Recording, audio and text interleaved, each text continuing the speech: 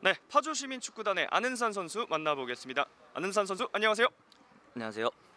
네, 올 시즌 파주에 첫 합류를 했습니다. 이 파주 시민 축구단만의 매력이 있다면 어떤 게 있을까요?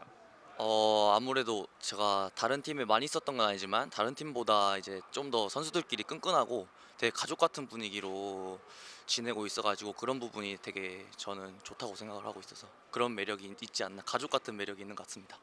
아, 좋습니다. 우리 기자님께서도 질문 몇 가지 부탁드릴게요. 네, 어, 키커로서 좀 중요한 역할을 팀에서 해주고 있는데 어, 오늘 발끝 감각이 궁금합니다. 아 이 프리킥이나 뭐 코너킥 같은 경우에는 제가 반복 훈련은 거의 매일 하고 있기 때문에 그런 부분에서 자신감이 나왔던 것 같고요. 어, 오늘도 뭐 저도 루틴대로 집중해서 하면 좋을 것 같아요.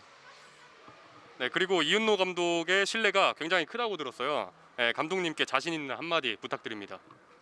어 저를 믿고 신뢰해 주신 만큼 제가 보답해서 꼭 팀을 승리할 수 있도록 시즌 잘 마무리할 수 있도록 하겠습니다. 감사합니다. 자, 지금은 약간 겸손한 발언 발언 같이 느껴졌었는데 좀 패기 있게 자신감 있게 한 번만 더 부탁드릴게요. 오늘 한 아, 이- 이건 아닌 것 같고 어 감독님 감사합니다. 저 그리고 해낼게요. 할 수 있습니다. 잘 할 수 있습니다. 네, 정말 진심이 느껴지는 네, 잘할 수 있습니다였고요.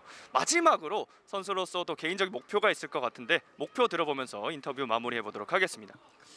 뭐 예전에는 개인 목표를 뭐 골 이렇게 정했지만 올해는 어 저희 동료 선수들과 최대한 많은 승리를 챙겨가지고 리그의 상위권을 유지하는 게 제 개인적인 목표라고 생각하고요. 그리고 프리킥이나 코너킥 세트피스 상황에서 제 발끝에 닿는 게 골이 많이 들어갔으면 좋겠습니다.